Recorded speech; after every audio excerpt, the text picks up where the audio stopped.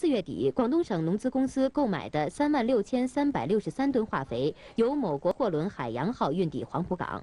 卸货时发现，有一万三千吨化肥被水浸湿残损。为顺利索赔，黄埔商检局迅速派员奔赴国内三十多个收货点调查取证，鉴定残损货物净损失六千零九十七吨，为索赔提供了有力保证。目前，广东省农资公司已全额获赔。被列为今年上海市政府一号重大工程的上海延安高架路东段工程，今天全面建成通车。中共中央政治局委员、上海市委书记黄菊、上海市市长徐匡迪出席了竣工通车典礼。这条高架路工程横跨上海市中心的黄埔、静安和卢湾三个区，全长三点零六公里。这是中央台报道的。新闻报告完了，感谢您收看，再见。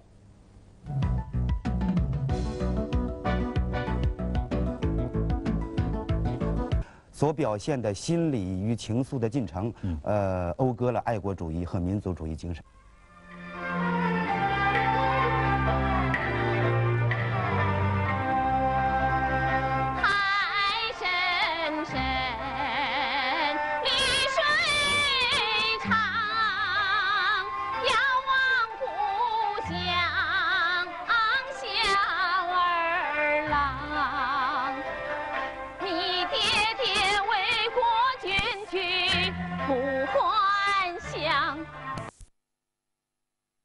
是根据著名武侠小说家古龙的名著改编而成的六十集电视连续剧。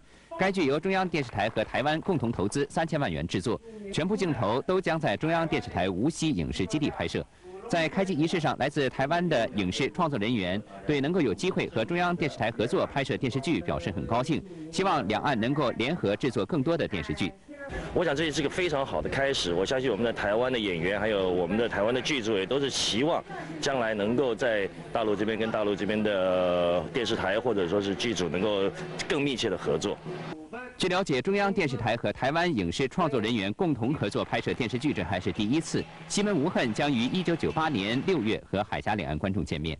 这是中央台报道的。坐落在广东南海市松冈镇的中央电视台南海影视城太平天国剧景区，今天奠基开始动工兴建。据了解，中央电视台南海影视城是中央台四大直属影视设置基地之一，占地总面积一千五百多亩。影视城内划分为东西两大规划区，东部为高科技景区为主，西部以太平天国景区为主。今天动工兴建的太平天国城主体工程包括天王宫建筑群、东王府、翼王府建筑群，以及三组不同地方特色的仿古街区等。杰作，信它将会触动您内心深处最温柔的情怀。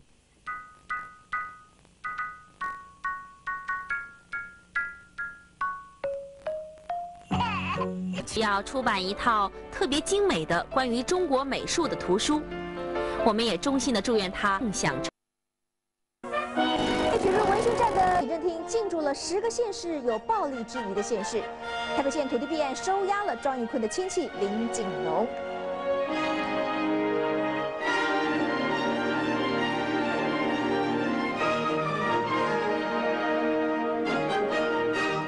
大家好，这是十一月二十八号星期五的中时新闻全球报道。拜托拜托，敬请会四一票。距离明天县市长选举投票只剩下最后的十三个小时了，各地的选情为之沸腾，国民两党的浮选大将今天更是倾巢而出，全力的顾票。那么今天的选前的最后一页，我们中视新闻呢也要现场连线，带您到北中南各个一级战区。那么首先，在两党可以说都是势在必得，也是被国民党跟民进党列为是指标战区的台北县呢，今天的车队短兵相接，到底是谁的阵营，让人看的是眼花缭乱。一大早，国民党秘书长吴国雄就率领一支上班拉票部队，到连接台北县市的光复桥拉票拜票，象征谢深山要光复台北县。台北县打什么牌啊？总统牌。省长牌，我们打的是谢深山牌。接着，国民党副主席连战也亲自出马，陪同候选人谢深山车队扫街。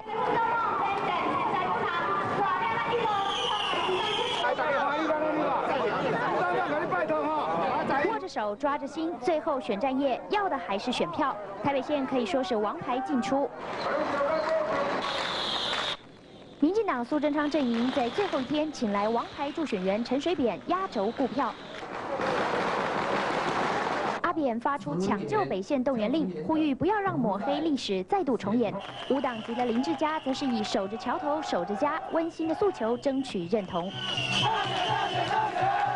新党杨泰顺也有送力量给新党的全线车队大游行。晚上的台北县各阵营还有大型的造势晚会，互比声势，比人气，选情沸腾。超级战区的大票仓将度过一个激情的选举夜。而在这么激烈的选战当中，也被台北县卷入了文宣战当中的台北县立委罗福柱，今天召开了记者会。他是紧咬着台北市长陈水扁，表示过去的选举他也曾经接受过，陈水扁也接受过罗福柱的资助，但是台北市可不是由罗福柱来主政的。他并且也强烈的抨击政治人物不应该因为自己的利益踩到别人的尊严。在台北县拥有十几万票实力的无党籍立委罗福柱，面对北县六位参选人有立委同袍和昔日好友，因为支持或不支持谁而引来批评，他除了谴责，也表达对自己人脉基础的信心。我自己怎么支持，我目前保密，啊，明天就揭晓了。因为我过去所有支持，呃，参选的人呐，全部都当选，从来没有过落选过的。正因为他的自信，加上家人支持国民党籍候选谢深深，罗福柱深觉遭到批评抹黑，尤其是来自他支持过的台北市长陈水扁。陈水扁在选台北市长的时候，那么曾经请他的弟弟来要求我帮忙他，那么我基于啊，呃个人的理念，那么我也相当程度的支持他。一个政治人物啊，做事要凭良心，不能踩着人家的尊严，而达到自己的。事业成就的目的，什么时候我的弟弟哦去跟他要求要帮我的忙，所以你怎样讲呢？我卖我别讲。而另外一桩可能会对台北县选群造成冲击的台北县土地变更弊案又有了新的发展。检察官深夜收押了一名本案的关键人物，他就是地震局局长庄玉坤的亲戚林景荣，同时呢也将扩大追查其他涉案官员和奸商。检调单位两天来持续大规模的约谈多名台北县政府的官员、建商以及省地震处的官员后，二十七号晚间以迅雷不及掩耳的速度，将本案中的关键人物，也就是台北县地震局长庄玉坤的七舅林景荣约谈到案。由于他涉嫌重大，直接由调查局干员带到台北地检署，由血平检察官开临时侦查庭展开侦讯。经过漏夜的讯问后，在深夜十一点多谕令收押警戒。检察官讯问过以后。认为他涉嫌贪渎等犯罪嫌疑重大，而且认为说他有串证之余，所以我们必须收押。由于即将到选举投票日的敏感时刻，对于这项重大发展，检察官以及地检署方面都以不便说明，不对这一名涉案人的身份以及涉案情节多做透露。据了解，林锦荣极有可能替庄玉坤、其他官员以及建商之间担任白手套，做洗钱的工作。而在同时，检调单位也针对一家冠德建设公司是不是有跟官员串通进行调查。冠德公司特别派出发言人出面澄清。我想七月份左右呢，庄局长曾经打过一次电话给开发部的同仁，他希望我们对潜水湾。总经理索贿一千五百万元的船款，特地向外界说明他的立场。公这些人是不是有涉及到是是否为公务员？公务员就贪渎，不是公务员的话呢，那就涉及到诈欺啦。我们呢务必呢一定要严办，那不能够我不能沾到一点点污点，绝对我绝对没有沾沾沾沾取这个事情。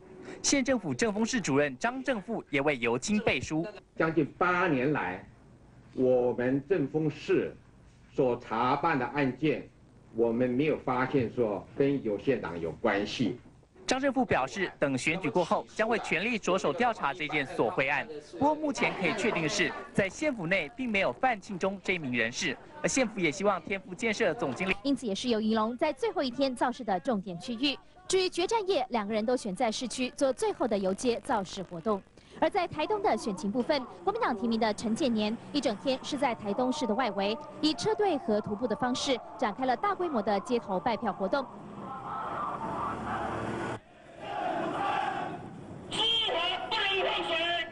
另外，无党籍的徐庆元和民进党的黄昭辉下午则带领了支持的群众，分别前往了台东地检署，指责司法不公、抓贿不力而进行抗议。同样的，为了进行最后的催票顾票，基隆市三位市长候选人刘文雄、李进勇以及许才丽，一大清早纷纷动员了各型的机动车辆，号召支持的义工和群众穿梭在基隆市各个大街小巷，一方面营造声势，一方面也向选民告急，希望支持者一定要集中选票，全力支持到底。而在外岛的金门县，今天国新两党都有造势的活动。国民党的候选人陈水在一整天都以步行的方式沿街向支持的民众拜票。由于在陈氏宗亲以及党部的全力动员之下，陈水在的阵营拜票的声势相当的浩大。而新党今天则是在秘书长王建轩和陈奎苗等人的领军之下，到金门机场向返乡投票的金门乡亲拜票。